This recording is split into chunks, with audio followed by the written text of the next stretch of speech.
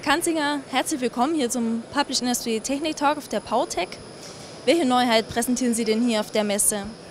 ICA zeigt dieses Jahr zwei Neuheiten auf der PowerTech. Eine davon ist die ICA Magic Lab, eine neu entwickelte Laboranlage, mit der sich alle verschiedenste Mischprozesse abbilden lassen. Das heißt, wir können mit dieser Anlage reine Rührprozesse abbilden, wir können heizen, wir können kühlen, wir können entsprechend Emulsionen herstellen durch diesen angebauten Inline-Dispagierer.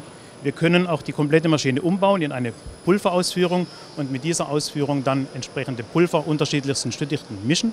Wir können aber auch lösemittelfeuchte Pulver entsprechend trocknen durch Vakuumkontakttrockner. Und welche Lücken im bisherigen Angebot haben dazu geführt, dass Ihr Unternehmen dieses Produkt entwickelt hat? Gut, ICA ist ein bekannter Hersteller für einen großen industriellen Mischanlagen. Äh, bisher bestand aber noch keine Möglichkeit, solch kleine Anlagen mit dieser Möglichkeit zu bauen. Durch, den, äh, durch die Entwicklung dieses äh, kleinen Dispergierers sind wir jetzt in der Lage, diese Prozesse wirklich im kleinsten Labormaßstab äh, darzustellen und damit dem Kunden auch die Möglichkeit zu bieten, Scale-Ups zu fahren ja, und hier Produkte im kleinen Maßstab zu entwickeln, die sich dann später in der industriellen Anlage auch wieder erholen lassen. Und welche Vorteile bieten sich damit dem Anwender? Der Anwender hat damit die Möglichkeit, mit einer kompakten Anlage verschiedenste Prozesse zu fahren. Ja, das heißt, er kann von reinen Flüssigkeiten, Emulsionen, hochviskose Pasten bis hin zu Pulvern alles in einer Anlage verarbeiten und alle verschiedenste Arten von Laborarbeiten ähm, durchführen.